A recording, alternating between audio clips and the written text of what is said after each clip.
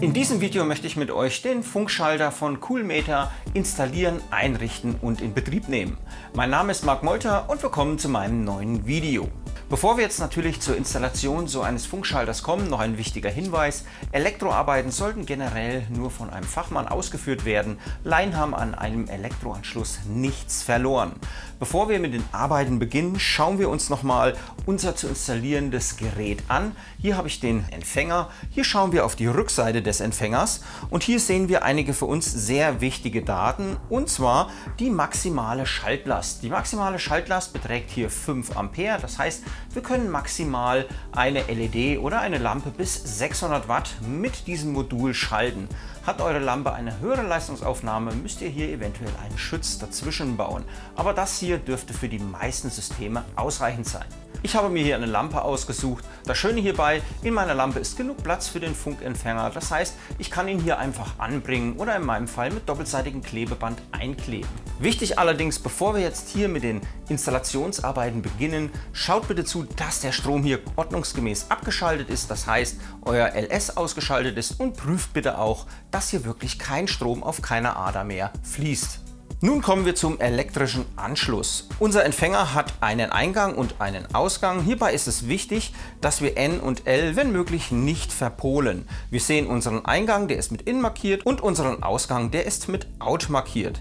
Beginnen wir mit unserem Ausgang. Das heißt, an dem Ausgang schließen wir unsere Lampe an. Wir nehmen hier eine Ader, stecken diese in den Output L und bei der Lampe in den Input L. Als nächstes nehmen wir eine weitere Ader und verbinden den Output N mit den Input N der Lampe. Dann kommen wir noch zu unserem PE. Der PE, euer Schutzleiter, sollte auf jeden Fall weiterhin mit der Lampe verbunden sein. Das heißt, dieses grün-gelbe Kabel, was sich sowieso an der Lampe befindet, lasst ihr bitte an der Lampe und verbindet diesen Anschluss bitte direkt mit dem Erdanschluss des kommenden Kabels. Nun kommen wir noch zu unserem Eingang. Hier verbinden wir L mit dem leitenden, meistens ist das Kabel braun oder schwarz, und N mit dem Neutralleiter, meistens ist dieses Kabel blau.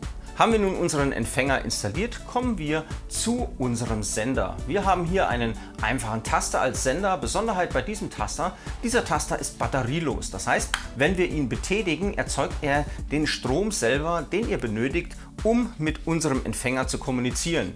Jetzt verbinden wir den Empfänger mit unserem Taster. Das machen wir folgendermaßen. Wir betätigen auf den Empfänger hier oben die Taste für ca. 3 Sekunden.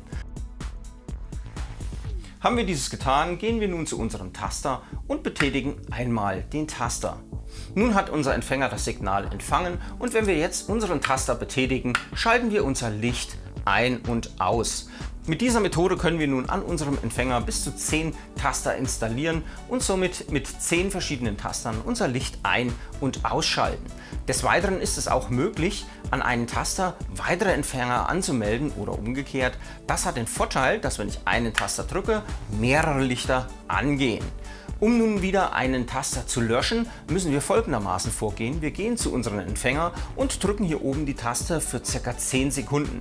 Nach ca. 10 Sekunden ist die komplette Programmierung in unserem Empfänger gelöscht, was allerdings auch bedeutet, sämtliche in dem Empfänger gespeicherte Taster sind gelöscht. Das heißt, nun müssen wir die Taster, die wir behalten wollen, wieder neu einlernen und somit ist das System wieder einsatzbereit.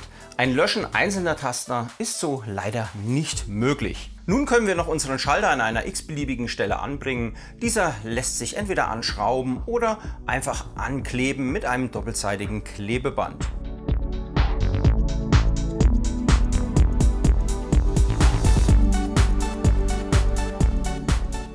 So, damit komme ich dann auch schon zum Ende meines Videos. Noch ein wichtiger Hinweis, dieses System wurde mir vom Hersteller netterweise zur Verfügung gestellt, damit ich euch den Aufbau und die Installation zeigen kann. Hat euch mein Video in irgendeiner Form gefallen oder weitergeholfen, würde ich euch um einen Daumen hoch bitten. Wollt ihr noch mehr meiner Videos schauen? Kein Problem.